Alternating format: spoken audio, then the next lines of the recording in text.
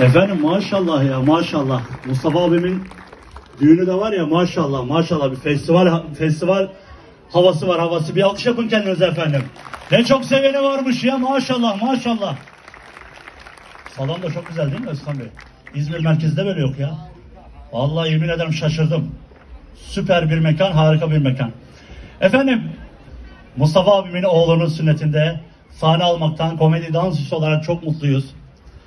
Öncelikle ben eee sünnet çocuğumuz Atlas'ı kocaman bir alkışlarla yanıma alabilir miyim? Neredeymiş Atlas? Atlas'ı gören var mı? Aa ağaca çıkmış. Atlas! Benim benim benim. Şimdi okus pokus yapacak bak izle. Ah! Aman Allah'ım. Yoksa sen sihirbaz mısın? Gel bakayım yanıma. Atlas. Adın ne? Atlas. Biliyor musun? Alaaddin, Alaaddin'in sinirli laması var biliyor musun? Bir de onun atlas halısı var. Uçan halısı biliyor musun? Hayır. Tamam babana söyleyelim alalım olur mu? Tamam. Tamam diyordu. Kıyamam sana ya. Abi Mustafa abim yengemle beraber yanımıza alabilir miyim sizle? Evet alkışlarla. Vallahi satarım köye ha.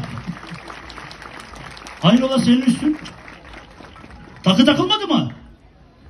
Ama biz İzmir'de merkezde üstüne takarız böyle takıları biliyor musun? Hmm.